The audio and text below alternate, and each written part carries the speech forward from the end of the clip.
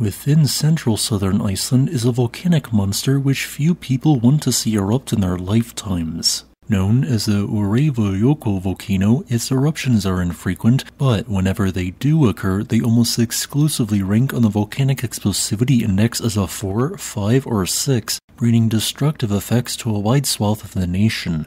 For example, its 1362 eruption not only caused a layer of ash up to 3 meters or 9.84 feet thick to fall on 52% of the country, but it also wiped out every single structure and farm within a 20 kilometer or 12.4 mile radius.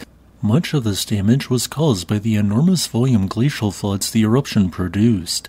300 people lost their lives due to this eruption, which was comparable in size to the 1991 eruption of Mount Pinatubo. And when farmers finally decided to attempt to return to this region, all they found was a thick black sandy desert in a location where prime arable land used to be. For this reason, that area will be called Öræfi or wilderness, which is how the Öræfajökull volcano received its name as where the effects of an eruption of the Öræfajökull volcano are felt, only wilderness is left behind in its aftermath.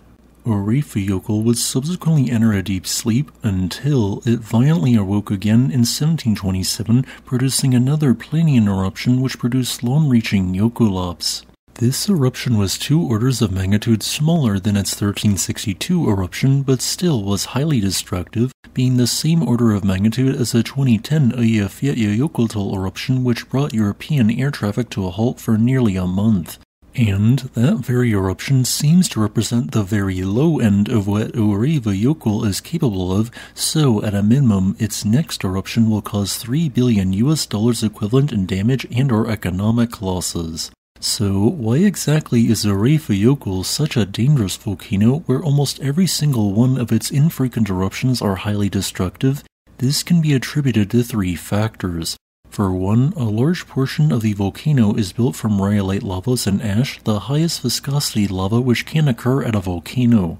Rhyolite eruptions almost always are Plinian in nature as their absurdly high viscosity forms a perfect plug above a magma conduit which subsequently can explode. The second factor is that Öræfajökull isn't simply a rhyolitic stratovolcano.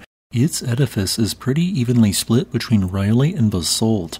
When these two compositions of magma mix, what follows is generally a gas-rich and highly destructive volcanic eruption with minor rhyolite mixing with majority basalt resulting in the largest two known eruptions of the Hekla volcano in Iceland.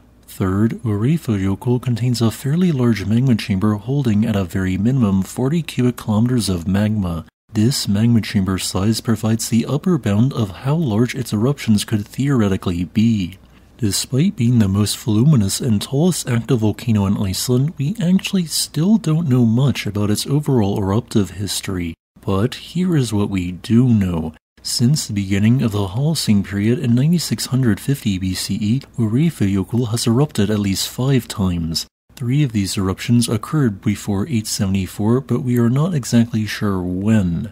It can be thus loosely assumed that an eruption occurs about once every 400 to 5000 years, but this is a low confidence estimate. We also know that it has been erupting for at least 780,000 years, perhaps more than a million years. Due to its age and the fact that almost all of its eruptions move large amounts of sediment, we can actually attribute the fact that the surrounding alluvial plains are not a shallow part of the Atlantic Ocean due to Öræfajökull's past eruptions.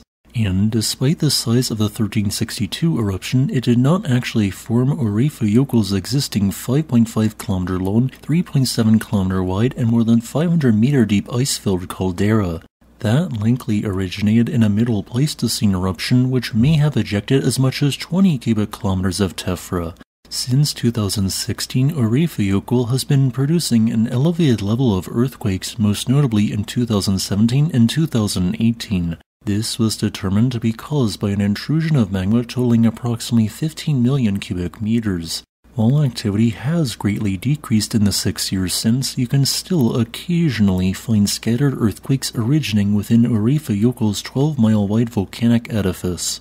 I am not too concerned Öræfajökull will erupt anytime soon, but found its recent intrusion to be unusual.